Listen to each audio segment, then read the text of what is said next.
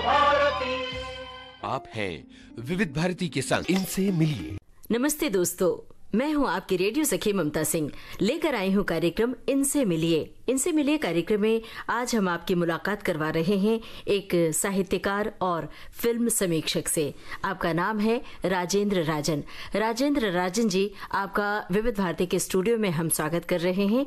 नमस्कार। शुक्रिया नमस्कार। कैसा लग रहा है विविध भारती के स्टूडियो में आकर जबकि आपका भी रेडियो से गहरा ताल्लुक है? जी ममता जी मैं वैसे तो आज से करीब एक दस साल पहले भी यहाँ आया था और विविध भारती से इसलिए एक आत्मीयता बहुत सा बना रहता है क्योंकि मुझे लगता है बचपन से जब मेरे पिताजी आर्मी में थे और मैं अहमदनगर में पढ़ता था तब से मैंने ये सुनना शुरू किया था। और ऐसा लगता है जैसे विविध भारती हमारे दिलों के बहुत करीब है। जी। तो एक अच्छा लगा स्टूडियो में आकर। जी। आपको अच्छा लग रहा है विविध भारती के स्टूडियो में आकर और हमें अच्छा लग रहा है एक साहित्यकार से बातचीत करते हुए। तो हम जानना चाहते हैं कि ये कलम की शुरुआत कैसे हुई? आपके लिखने की शुरुआत कैसे हुई? पहली बार कौन सी विधा में आपने कदम बढ़ाया था? कहानी या कविता की ओर? जी मैं पहली बार मेरा जो रुझान रहा ममता जी वो कहानी की तरफ़ ही रहा। मैं दरअसल चंडीगढ़ में पढ़ता था एक कॉलेज में सेक्टर ग्यारह में कॉलेज है। जिसने बहुत बड़े बड़े सेलिब्रिटीज़ पैदा किए हैं। और उस कॉलेज की जो पत्रिका होती थी उस पत्रिका में मेरी कुछ कहानियाँ चयनित हुई और छपी। तो उनको कहानियों को बहुत पुरस्कार मिले। तो उस ज़माने में पहली कहानी कैलेंडर नाम से छपी थी जिसको प्रथम पुरस्कार मिला था। तो उसके बाद मुझे लगा कि मुझे इस विधा की ओर अग्रसर होना चाहिए। और आहिस्ता आहिस्ता मैंने अखबारों से शुरुआत की। जी, जी। और पुरस्कार मिला आपने कहा तो हमारे जहन में ये बात आई कि पुरस्कार आपको आगे चलकर भी मिला आपके लेखन के लिए हिमाचल प्रदेश सरकार की ओर से कहानी संग्रह बंद दरवाजे की जी, जी. इसके बारे में बताइए हमारे श्रोताओं को। ये इस पुरस्कार का नाम है पंडित चंद्रधर शर्मा गुलेरी पुरस्कार साहित्य के लिए। जी। ये हमारे हिमाचल सरकार का सर्वोच्च पुरस्कार है। और ये मुझे 2007 में मिला था।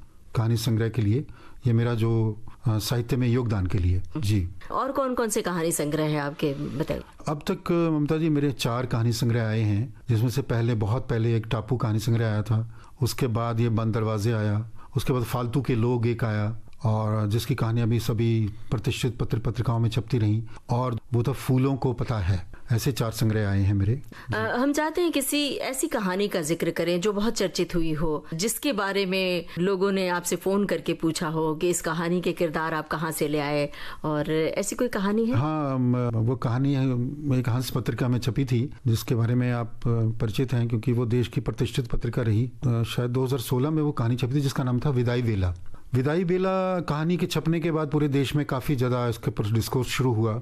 और बहुत लोगों ने मुझे फ़ोन किया एसएमएस किए और इस कहानी में ये है कि हमारे पहाड़ों में एक परंपरा होती है कि जो बुज़ुर्ग होते हैं, उनको लगता है कि हमारी मृत्यु के बाद के संस्कार जो हैं, वो शायद हमारे जो परिजन हैं, वो उसको उस ढंग से नहीं कर पाएँगे, उस सम्मान पूर्वक नहीं कर पाएँगे जैसे वो चाहते हैं। तो विदाई बिला में एक बूढ़ी औरत है जो शायद अस्सी नब्बे साल की है और वो उसके बाद के संस्कारों की सब तैयारी पहले से ही शुरू कर देती है और उसमें वो घर से लकड़ियों का प्रबंध कर रही है और जो पैसे का प्रबंध कर रही है और बहुत सी चीज़ साजो सामान का प्रबंध कर रही है। तो मुझे लगता है कि इस कहानी ने हमारे जो पाठक हैं बड़े पाठक वर्ग को की संवेदना को झकझोरा। उनको लगा कुछ नई सी बात है कि शायद ऐसा हो रहा है। तो ये बुज़ुर्गों के मन में होता है हमारे खास तौर पे पहाड़ी इलाकों में कि उनका मान सम्मान रहे। तो ऐसा कुछ लोगों में है ये परंपरा रही है। तो इस कहानी ने काफ़ी चर्चित रही। मौन से संवाद ये आपका उपन्यास है। अक्सर जब कहानियाँ लिखते हुए एक कहानीकार के रूप में प्रतिष्ठित हो जाते हैं साहित्यकार तो उनसे ये उम्मीद की जाती है कि आप उपन्यास लिखिए। तो आपको भी किसी ने ऐसी प्रेरणा दी किसी अन्य साहित्यकार ने कि तुम अब उपन्यास लिखो अब उपन्यासकार के रूप में चर्चित हो जाओ?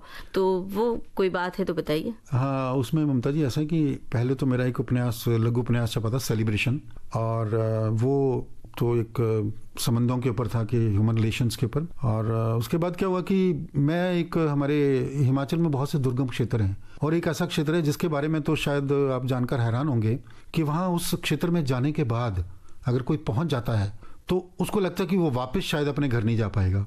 इतना दुर्गम क्षेत्र है उसको पांगी बोलते हैं। जो पांगी का इलाका ये जम्मू कश्मीर चीन के बॉर्डर और इनसे लगता है बहुत ही दुर्गम क्षेत्र है। तो मुझे वहाँ आज से कोई तेरह चौदह साल पहले जाने का मौका मिला। हम्म। और मुझे लगा कि अगर मैं इसको ट्रेवल लॉग के रूप में या यात्रा संस्मरण लिखूँगा तो शायद वो बात नहीं बनेगी।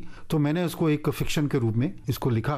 और उसमें ये बताने की कोशिश की है कि जो जब वहाँ 20-20 फुट बर्फ़ पड़ जाती है तो वो बर्फ़ के दौरान लोग कैसी दुश्वारियों में कितनी परेशानियों में अपने जीवन को जीते हैं कितनी मुश्किलों में रहती हैं। लेकिन वो जो छह महीने तक या आठ महीने तक वो रास्ता कटा रहता है बर्फ़ की वजह से तब भी वो लोग कैसे उस जीवन को बड़े ही सहज रूप में लेते हैं और उसको बड़े आराम से उस ज़िंदगी को वहाँ जीते हैं। लेकिन वो जो तकलीफें हैं वहाँ के लोगों की उसकी पीड़ा को उनकी यंत्रणा को उनको इसमें उकेरने का प्रयास मैंने इस उपन्यास में किया है और इसका भी कुछ पत्रिकाओं में इसके रिव्यूज़ आए हैं और इसको पसंद किया गया है। बड़ा मुश्किल होता है यात्रा वृत्तांत को फिक्शन के रूप में ढालना कहानी के रूप में ढालना क्योंकि आपने आँखों से देखा होता है उस सच को बार बार यही मन करता है कि इसको हम एज इट इज़ लिख दें। लेकिन कहानीकार से उपन्यासकार से ये उम्मीद की जाती है कि सच को सच की तरह न बयां करें और कोई घटना हो जो सच ना हो उसको सच की तरह बयां करें। तो बड़ा मुश्किल होता है। तो ये मुश्किल आपने कैसे इस मुश्किल पर विजय कैसे पाई इसमें ये बात सही है आपकी कि मुझे लगता है कि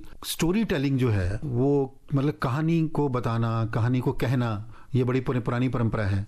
और मुझे लगता है कि अगर मैं ठीक है जहाँ मुझे लगता है कि मैं यात्रा संस्मरण लिखने में सहज हूँ तो मुझे लग रहा है उस विषय को मैं चुनूँगा जिसकी जिसकी किताब का मैं ज़िक्र आपसे करूँगा जो अभी हम्म। मेरी कुछ दिन हम्म। पहले छपी है या विमल राय पथ लेकिन ये कुछ ऐसी बात थी तो मुझे लगा कि अगर आप वहाँ से पात्रों के माध्यम से अगर वो व्यथा को वहाँ दर्शाने की कोशिश करते हैं क्योंकि उस उपन्यास में है कि बंबई से ही दो पात्र फ़िल्में बनाने के लिए वहाँ जाते हैं हम्म। लड़का लड़की शरद और शंपा नाम है उनके जब वो वहाँ जाते हैं तो वो बर्फ़ में फंस जाते हैं और उनको लगता है कि अब तो वापस हेलीकॉप्टर की उड़ानें नहीं होती हैं। हो नहीं हो रही हो नहीं रही। क्योंकि हेलीकॉप्टर से ही एक राफ्ता रहता है।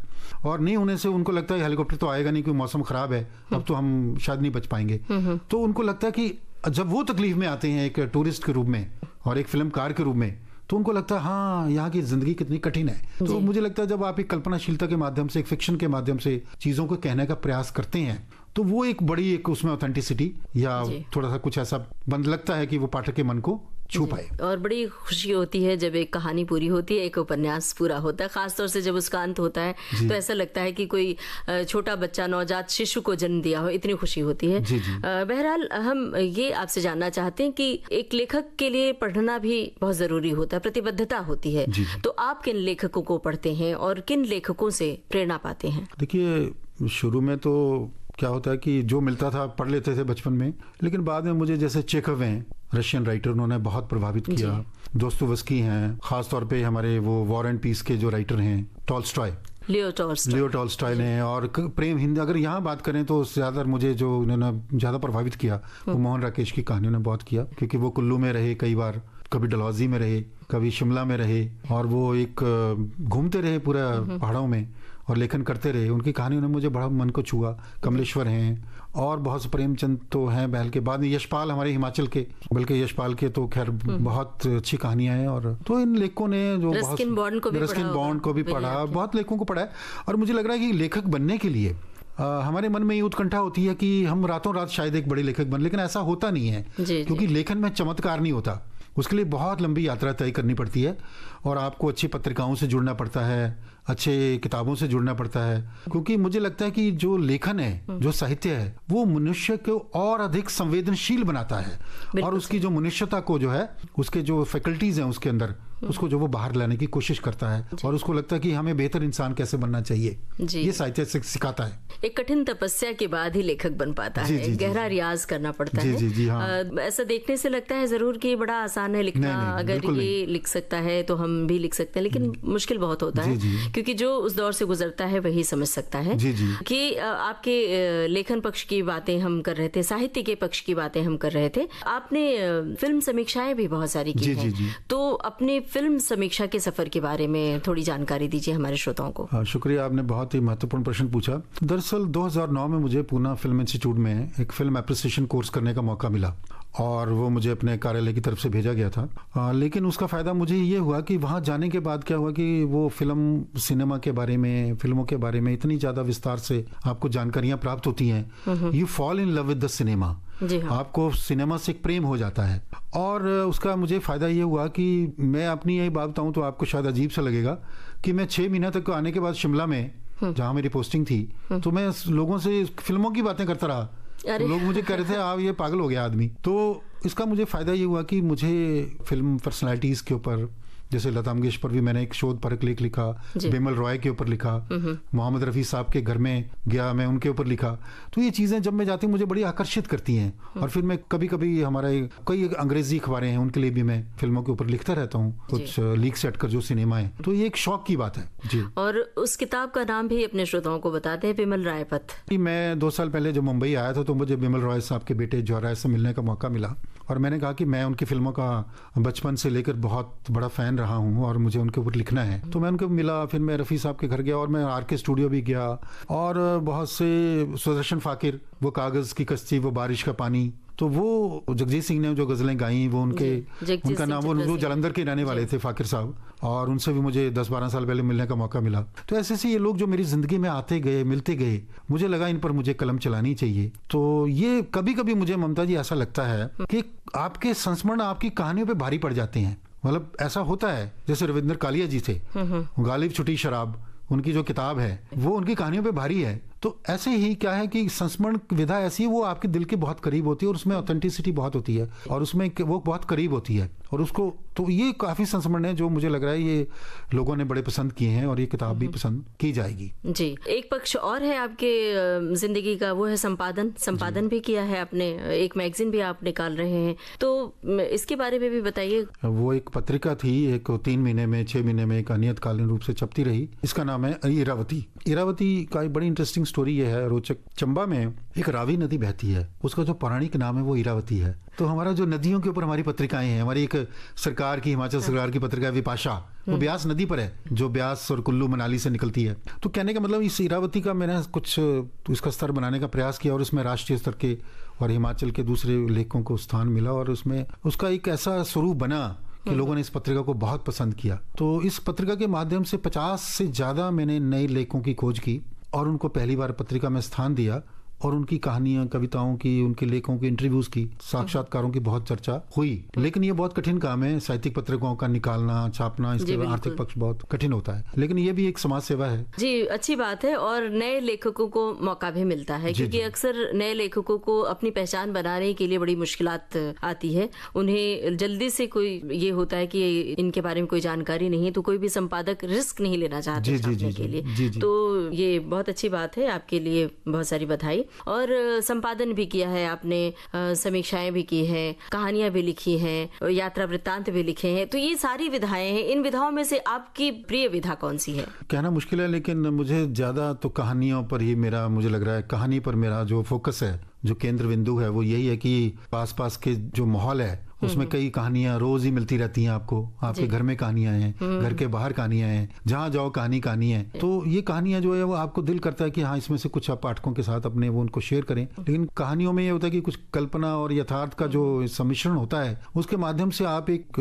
रचना करते हैं जो पाठकों को बांधने का प्रयास करती है। तो मुझे लगता है कि मेरा जो ज़्यादा जो मन लगता है वो कहानी लेखन में लगता है। राजेंद्र राजन जी विविध भारती के स्टूडियो में आप आए और साहित्य से जुड़ी फ़िल्म समीक्षा से जुड़ी तमाम बातें शेयर की साझा की हमें बड़ा अच्छा लगा। आपका बहुत बहुत शुक्रिया अदा कर रहे हैं। बहुत बहुत धन्यवाद ममता जी आपने मुझे एक बहुत सुनहरी मौका दिया। शुक्रिया। नमस्कार। इनसे मिलिए कार्यक्रम में अभी आपने सुनी कहानीकार राजेंद्र राजन से ममता सिंह की ये बातचीत। इस कार्यक्रम के प्रस्तुतकर्ता जुबैर खान।